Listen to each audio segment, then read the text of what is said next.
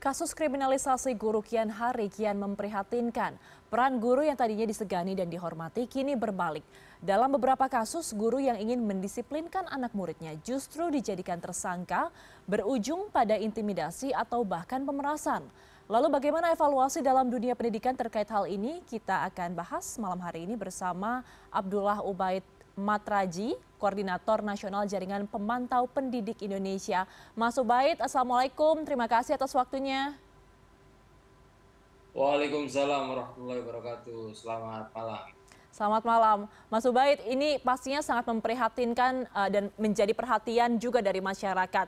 Kasus guru yang ingin mendisiplinkan muridnya justru berujung malah kriminalisasi, dimasukkan ke penjara. Dan kasus seperti ini seperti yang telah dibahas bukan hanya terjadi satu atau dua kali. Menurut analisa Anda sebenarnya apa yang menyebabkan hal ini? Apa akar permasalahannya Mas Ubaid? Yang pertama menurut saya kita uh, prihatin ya terhadap kasus kriminalisasi ya yang menimpa para pendidik di Indonesia. Ini mestinya tidak terjadi gitu ya Eh, kemudian yang eh, kedua kenapa ini bisa eh, terjadi gitu ya ini menunjukkan bahwa tidak adanya perlindungan terhadap profesi guru ya selaku tenaga pendidik yang ada di sekolah gitu. Bagaimana bisa guru yang mengajar di sekolah ya dalam proses pembelajaran kemudian e, mereka dikriminalisasi gitu ya. Padahal ini adalah dalam e, proses pembelajaran gitu.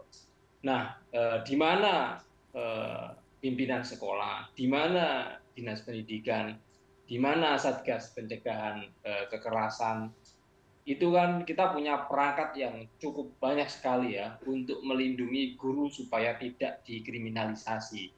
Bagaimana supaya sekolah ini menjadi tempat yang aman bagi anak-anak untuk belajar. Sebenarnya yang menjadi PR kita adalah bagaimana cara mendisiplinkan anak, hmm. bagaimana membangun kesadaran kepada para peserta didik itu ya.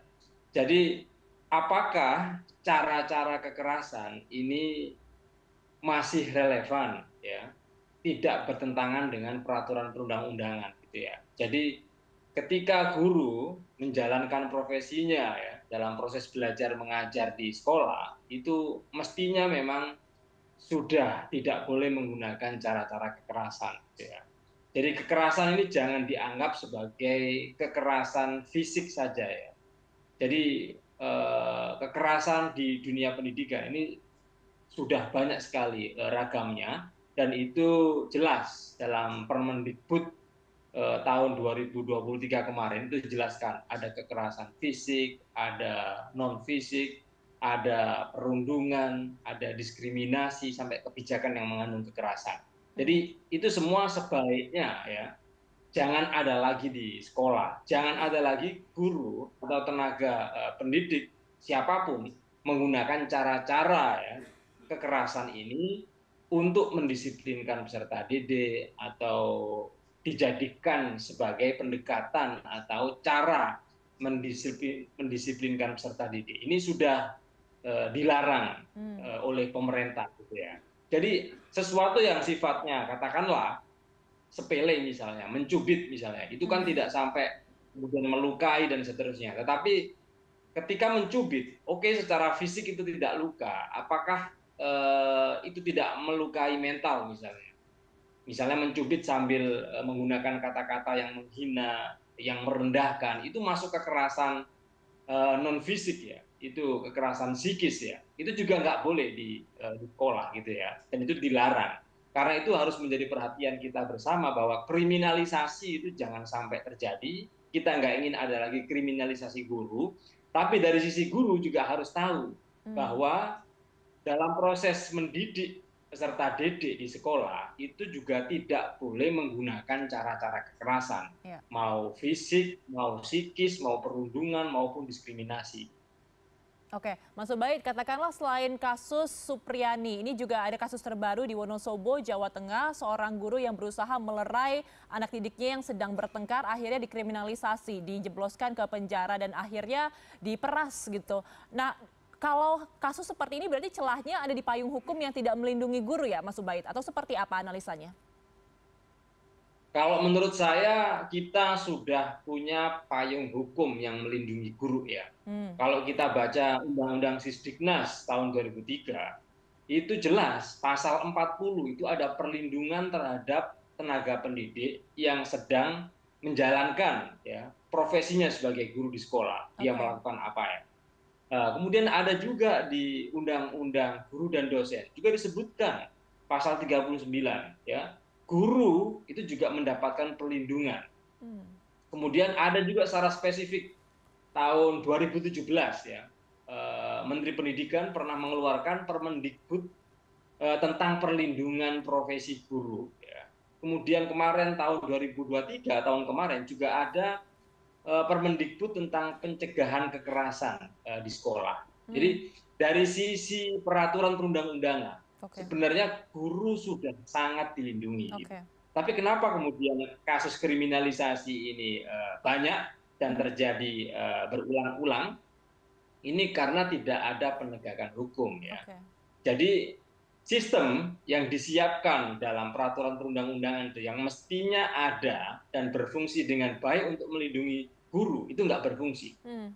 mereka nggak berperan gitu ya. Misalnya dari level yang paling bawah misalnya di sekolah itu ada TPPK ya. Pencegahan kekerasan di level sekolah. Mereka juga harus melindungi guru. Hmm. ya kan? Okay. satgas di level kabupaten satgas di level uh, provinsi mereka juga punya tugas untuk melindungi guru gitu. Tapi kenapa kemudian mereka diam? Hmm. mereka tidak berperan sama sekali sehingga intimidasi, teror, fitnah, pemerasan dan seterusnya ini e, menimpa pada guru-guru kita. Ini yang kita sayangkan. Oke, Mas Ubaid, kalau tadi kita banyak membahas dari sisi undang-undangnya, saya ingin ke pola didik atau pola asuh orang tua. Banyak yang membandingkan bahwa pola didik orang tua zaman dulu ini cenderung lebih keras dan juga lebih disiplin terhadap anak. Kalau dibandingkan dengan orang tua sekarang ini kan sepertinya lebih lembut begitu ya. Ini akan menjadi bumerang hmm. tidak sih, Mas Ubaid?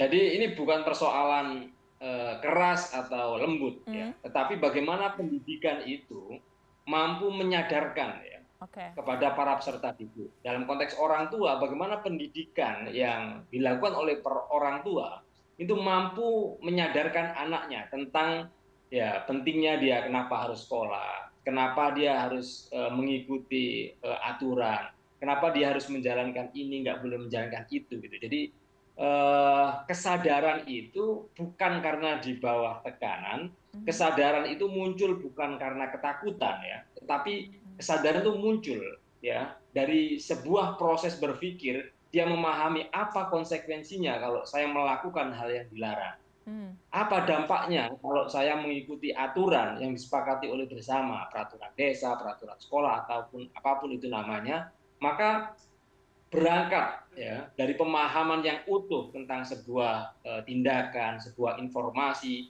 dia bisa mencerna apa konsekuensi logisnya kalau dia melakukan hal yang dilarang, okay. uh, eh, apa dampaknya kalau dia mengikuti sebuah aturan dan seterusnya. Dari situlah muncul kesadaran, sehingga proses-proses penyadaran baik yang dilakukan oleh orang tua ataupun guru di sekolah itu yang harus dibangun, gitu ya. Okay bukan okay. menggunakan pendekatan kekerasan itu pasti hmm. lebih efektif ya. lebih okay. bisa mendisiplinkan tapi kalau nggak menimbulkan kesadaran buat apa Baik, harus menimbulkan kesadaran. Tapi Mas Ubaid ini juga yang menjadi pertanyaan masyarakat dan juga terutama orang tua ya.